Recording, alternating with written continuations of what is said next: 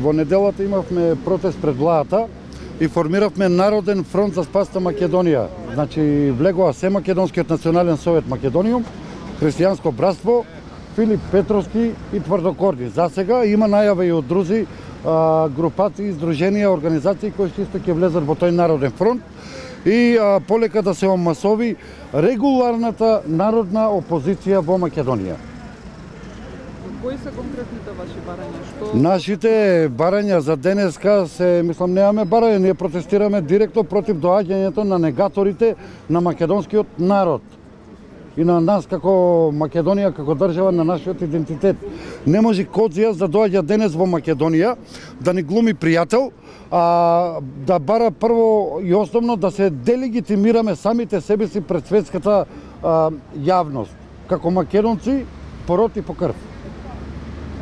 Значи треба веќе еднаш јавно да му се каже, јас не знам тука од вас дали има од грчките телевизии, од обично доаѓаат за вакви настани, треба јавно да му се каже вистината, дека они се окупатори на македонска територија.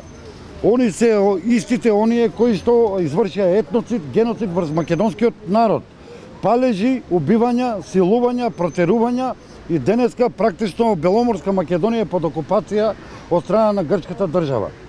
Тоа треба да се каже јавно и треба да му се пренеси на сите дека Македонија и македонскиот народ никогаш нема да се откажат од своите браќи и сестри кои што денеска се уште живеат во Беломорска Македонија. Она што јас имам да го кажам по однос прашањето на името е следно. А,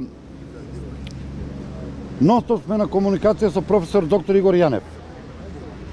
А, Игор Јанев за цело време комуницира и со председателот Иванов, и со други институции надлежни во Македонија, па дури и со овој нелегитимниот премиер Зоран Заев. Упорно му ја кажува стратегијата што е потребното Македонија да го направи во овој момент и за да се реши значи прашањето и кризата во Македонија. Прекид на преговорите веднаш. Прво и основно. Второ, поднесување од страна на, на надлежна македонска институција, дали председателот или друг надлежен орган во а, во УНГА, во United General Assembly, значи во Генералното собрание на Обединетите нации, а, не прием на Македонија под уставното име, него продолжување на Македонија а, во Генералното собрание во Обединетите нации како Република Македонија, онака како што сме запишани во уставот.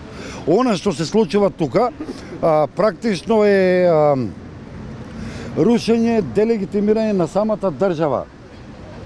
Делегитимирање на нашиот народ од нелегитимна власт, составена од апатриди и терористи, кои што се амнестирани од политичарите, меѓутоа не и од македонскиот народ. Учека ја нападна државата, Учака убиваше во Македонија, покаше во регуларните полициски воени униформи, во оние кои што представуваат закон и ред во Македонија, така да апсолутно а, сето е надвор од а, нормалното.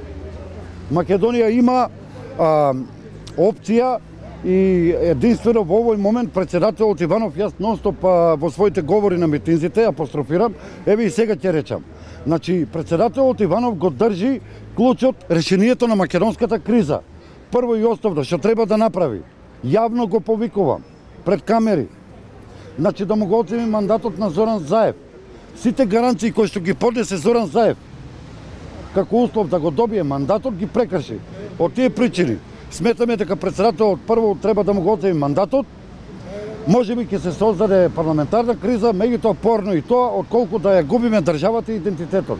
Втората работа, председателот Иванов треба да поднесе до Обединетите нации ова што ви го кажав, значи да ја прифати стратегијата на професор доктор Игор Јанев и да се стави крај на преговорите околу името и сето мешетарење 27 години. Значи на 27 февруари тука на протестот кажав јавно дека Козијас ќе го смени името на Македонија во оној момент кога ќе успее јужниот сосед во било која света книга Библија да го избрише името Македонија. Значи Македонија постоела во минатото и дури пред христијанството постои денес и поздраво до него, за жал не знам грчки, ќе постои Македонија и понатаму. Тоа сакам да му го преведете на грчки. Се ова што тој доаѓа овдека, што и ова се што се случува, му е бадијала. Македонија ќе постои.